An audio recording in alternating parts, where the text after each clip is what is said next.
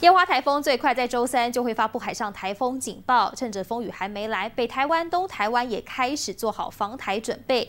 基隆碧沙渔港停靠了五十多艘游艇，也担心风浪造成船只受损，是调派了吊车先将游艇吊挂上岸。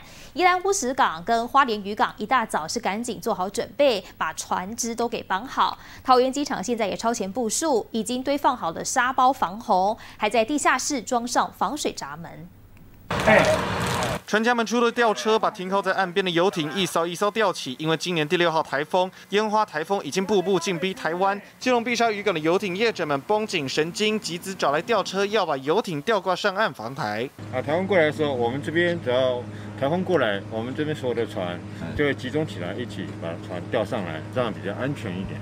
哦，可以看得到。不止基隆、宜兰乌石港，也有许多渔民在渔港内忙进忙出，要把所有渔船通通绑好固定。虽然烟花台风的路径不确定性仍然很大，但暴风侵袭的几率已经大幅提高。由于台风很可能会增强为中度台风，花莲渔港渔民也忙着为渔港上待修的渔船做紧急处置，就怕风雨增强造成船只损毁，酿成更大的损失。听你监管不安全吗？它不安全，它不安全。首先，我们会把我们的船只全部都呃能够固定好啊，绑牢。